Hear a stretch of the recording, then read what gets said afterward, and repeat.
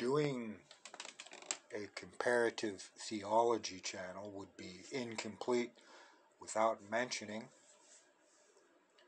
the Journal of Interreligious Studies. A very solid contributor to the ongoing interreligious discourse and interfaith dialogue.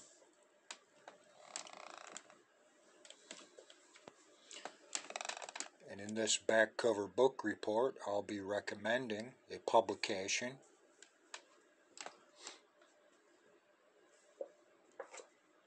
entitled Deep Understanding for Divisive Times Essays Marking a Decade of the Journal of Interreligious Studies.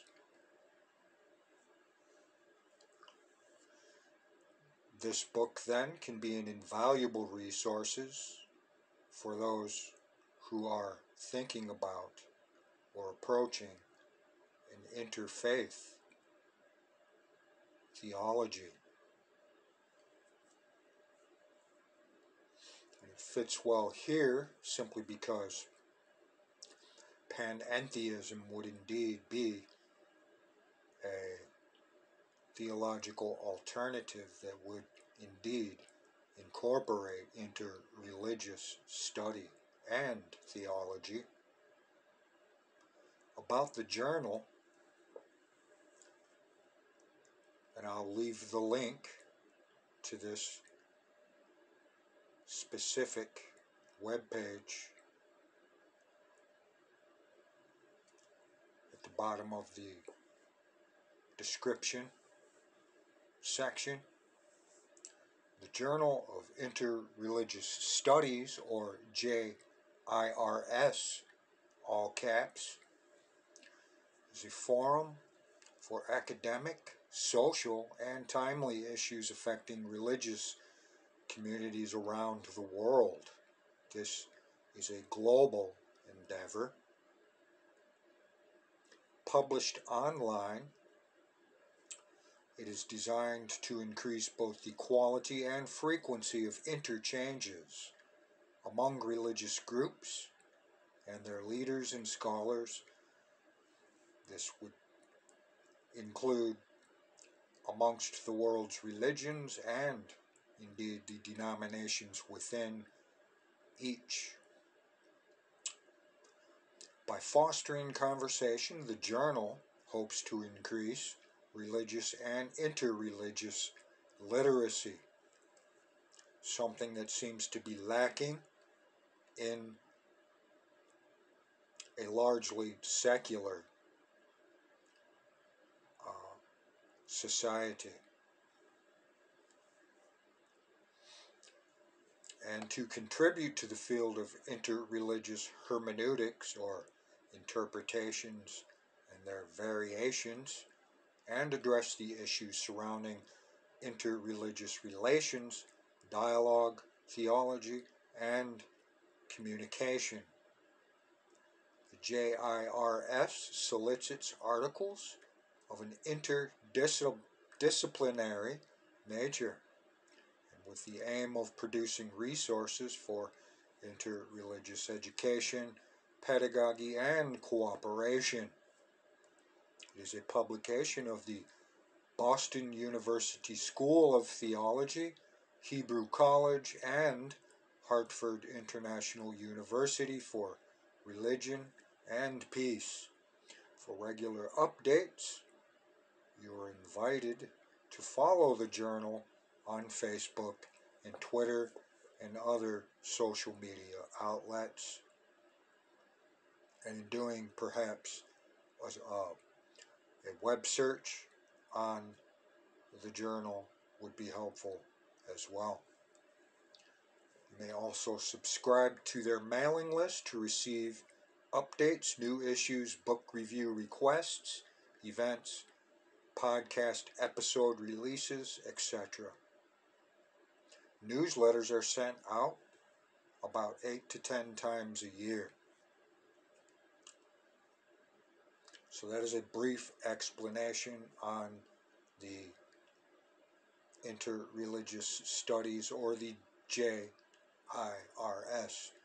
Journal of Interreligious Studies.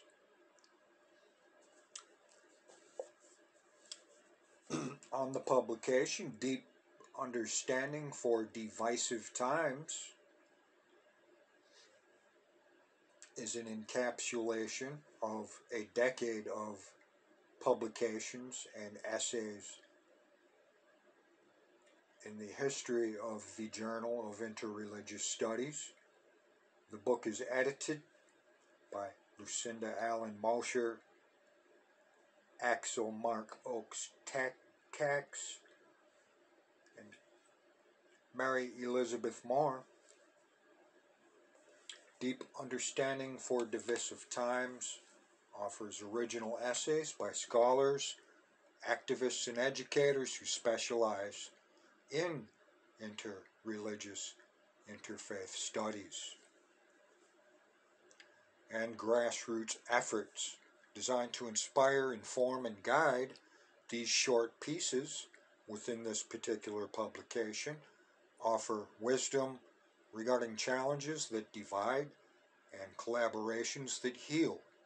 The collective experiences of these authors provide individual readers secular and religious communities, and the classroom, very important, with a wellspring of practical insights and stimuli for rich conversation.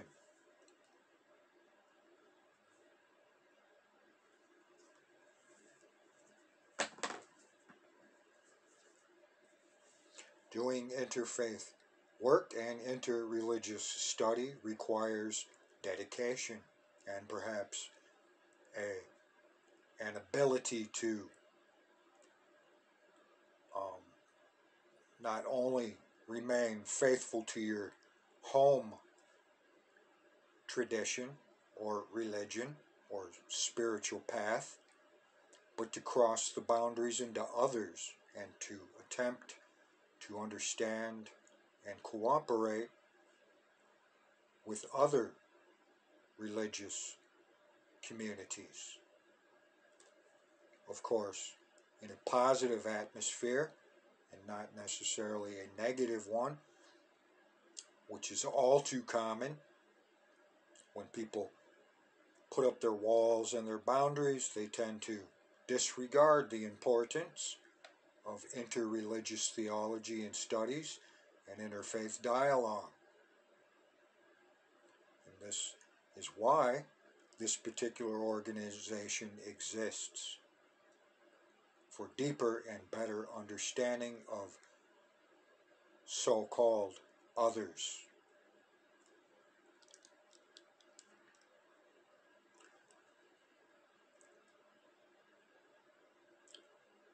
Professor Diana L. Eck, PhD, Director the Pluralistic Project at Harvard University says, I love this collection of essays, both from the experience, reflection, growth, and activism of the interfaith movement.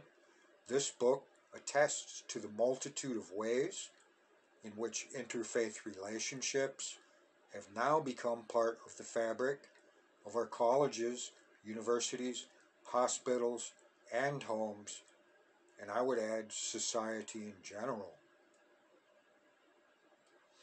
We are even more conscious of the urgent necessity of deep understanding, navigating the turbulent waters of our time is this great flotilla of the interfaith movement, providing compass, stability, skill, and commitment in this time when our multi-religious society or societies is being tested as never before.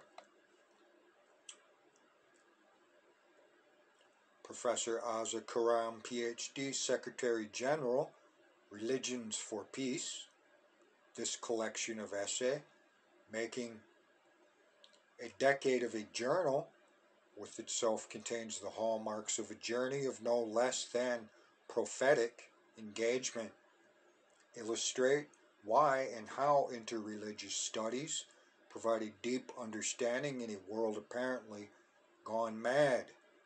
Yet, it is in wisdom, sanity, and celebration of a decade of enlightenment in thought and praxis, a must read for anyone seeking to drink from the fountains of the divine wisdom and critical debate in each and every faith tradition.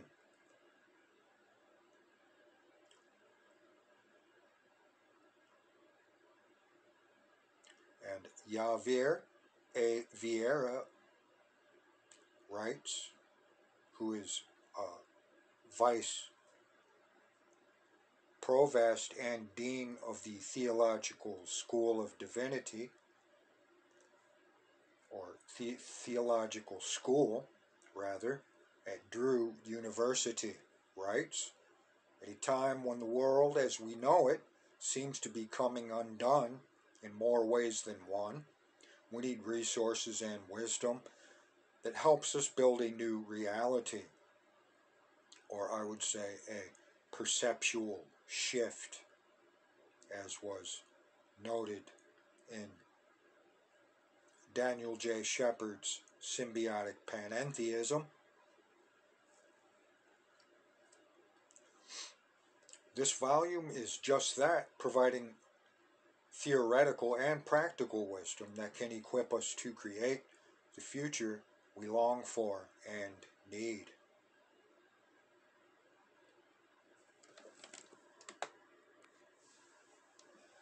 Journal of Interreligious Studies, or irstudies.org, is an online peer reviewed publication of Hebrew College, Boston University School of Theology, and Hartford Seminary dedicated to innovative research on and study of the interactions that take place within and among religious and ethical communities.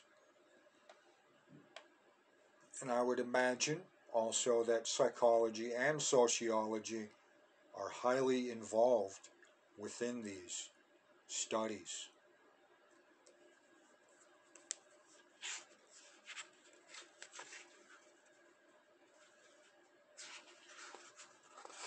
From the foreword, a foreword by Ebel, Ebo, Eboo, rather, Patel, Interreligious Interfaith Studies in Interfaith America. the field of interreligious interfaith studies, of which the Journal of Interreligious Studies is a bulwark continues to grow in intellectual sophistication. The articles it publishes are powerful illustration of this. they consider interfaith engagement from many angles and perspectives, from ecology to anti-racist. There are excellent pieces here from a range of religious traditions, as well as from perspectives that might be termed spiritualist and not necessarily religious, as many identify themselves as being spiritual and not religious. I would add, however, that these two cannot necessarily be separated except perhaps within one's mind. Each perhaps has given credence to the other, in other words. Spiritual life arose out of religious dedications. Continuing, there are also place based perspectives and notes on how to improve interfaith pedagogy and programmatic practice. Indeed, the past decade has been a time of great growth for interreligious interfaith studies and its related programs and practices, especially in the academy.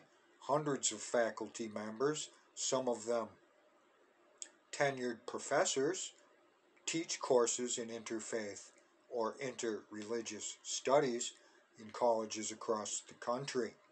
The Interreligious and Interfaith Studies Unit of the American Academy of Religion regularly gathers a full room for its sessions. Several academic books with interfaith or interreligious studies in the title or the table of contents have been published recently. The term interfaith leader or minister is now regularly used to describe someone with the vision, the knowledge base, and the skill set to create positive connections among people who orient around religion differently. Perhaps as a mediator. As one sign of the growth, the Arthur, Vining Davis Foundations, re renamed its theology program as Interfaith Leadership and Religious Literacy. literacy.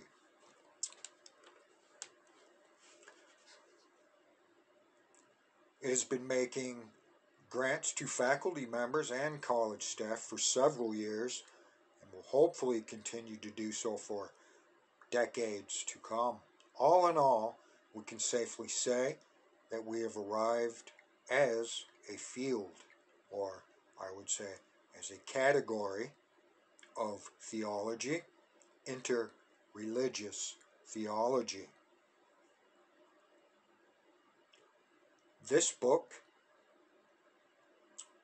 which celebrates the Journal of Interreligious Studies, is a powerful proof point for this. And yet, we all know that there is so much more to be done.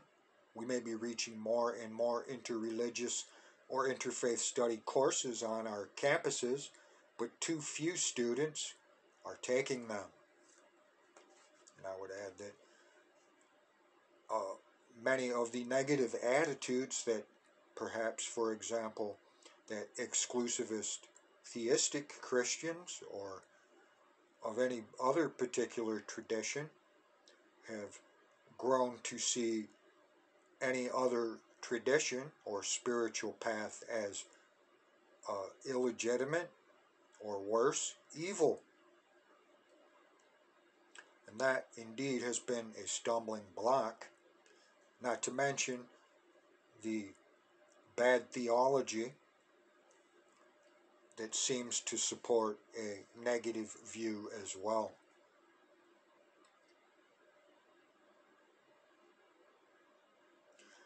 Continuing, we may be writing articles on the various ways that religious traditions offer wisdom for bringing people from different backgrounds together and creating a bridge to a collective and inclusive future, but not enough people are reading these articles.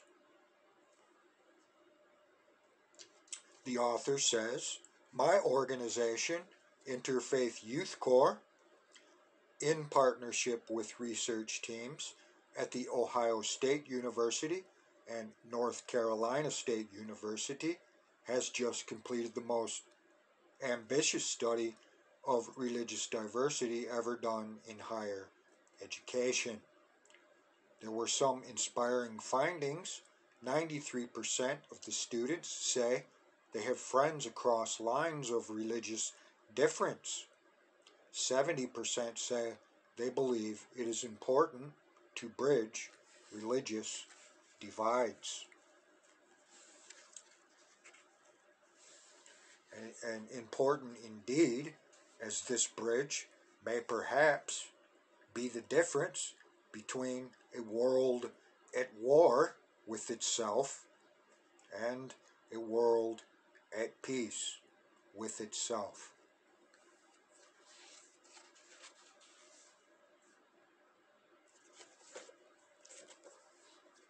So, essays marking a decade of the Journal of Interreligious Studies, Deep Understanding for Divisive Times.